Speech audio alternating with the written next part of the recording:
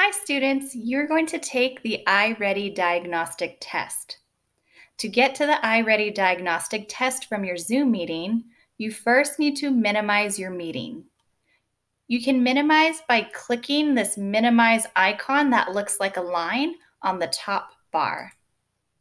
When you minimize, your Zoom meeting is still running. And to get back to your Zoom meeting, you click on the blue circle with the camera icon, your Zoom icon, to open back up your Zoom meeting. If you are in full screen mode, you won't see the minimize icon at the top. First, you need to exit full screen. Then you can click the minimize icon and minimize your meeting.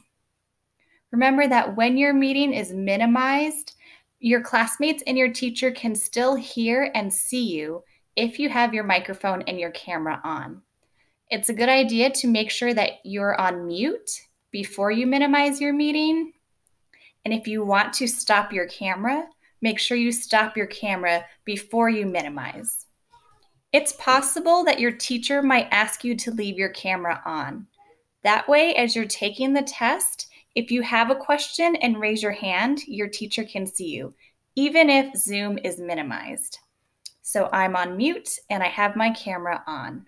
Now I'm going to minimize. Next, you need to go to the SMUSD cloud. If you have the cloud tab open, you can click on it. And if not, you can open a new tab and either click the cloud on your bookmark bar or type in cloud.smusd.org.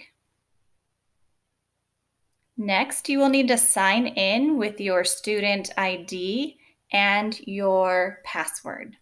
So I have my student email address and my password. Now I can log into Cloud. When you get to Cloud, click on your Clever tile. This is how you get to iReady.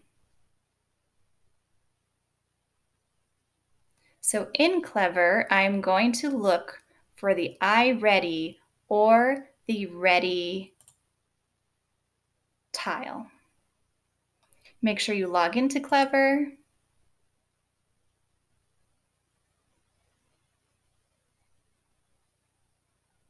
You may need to scroll down to find iReady. iReady is the blue, orange, and green cube, and it will say iReady on the tile.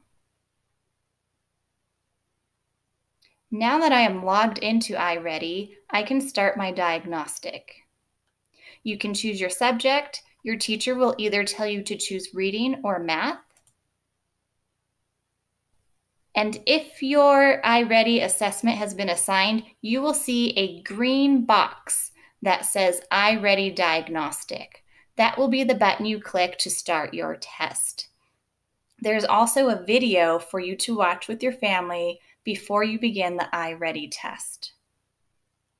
When you are ready to get back to your Zoom meeting, you can go back down to your bar on the bottom, click the Zoom icon, the blue camera, and that will take you back to the meeting with your teacher. Good luck with your iReady diagnostic test. Try your very best. We know you're going to do great.